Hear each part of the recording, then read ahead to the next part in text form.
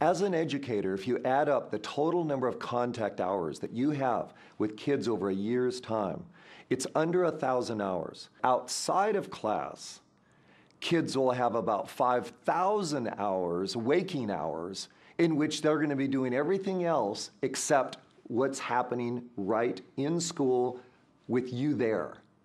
How good is your thousand hours per year? Is it good enough to be able to ameliorate the effects of 5,000 other hours out there? It's got to be spot on. This means purposeful teaching. This means thoughtful schools. This means don't waste a minute of time.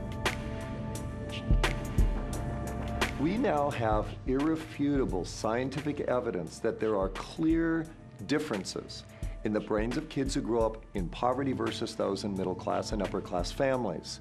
Some of the differences include emotional changes in the brain, which is why relationships are so important at school.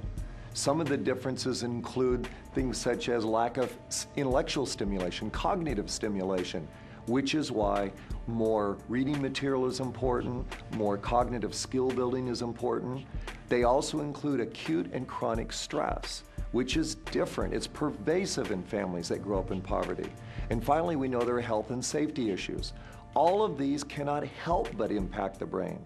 The studies show if you average out the brains of those from low income families. It's not just that the IQ is different, it's different for a reason.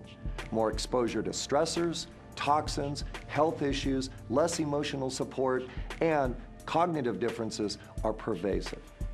That's the bad news. The good news is the human brain is designed not only to adapt from negative experiences, but it's designed to adapt, and change for positive experiences. What we're all about is addressing how do you make those positive changes in the brain? How do you make them stick? And how do you do ones that are going to drive student achievement? If you don't know what drives changes in the brain, the changes that drive student achievement, you'll always struggle. But if you do, if you do know these changes, you will see everyday miracles happen in your kids. It happens in schools all over the country. Let's explore some ideas based on the SHARE factors. SHARE is an acronym that I developed to give you a clear checklist, a model to successfully counter the effects of poverty on kids. You can use the model school wide and also in a more micro way in the classroom.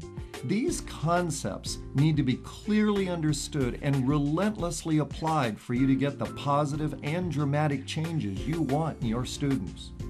At the elementary level, it's particularly important to focus on your share factors because you're getting a student that doesn't have years and years of baggage. You're getting a student that is more likely to be psyched up about being in school you're getting a student that's not jaded, and you're getting a student at which you can start scaffolding and building their brain so that they can have an extraordinary life ahead of them or a life period outside of the criminal justice system.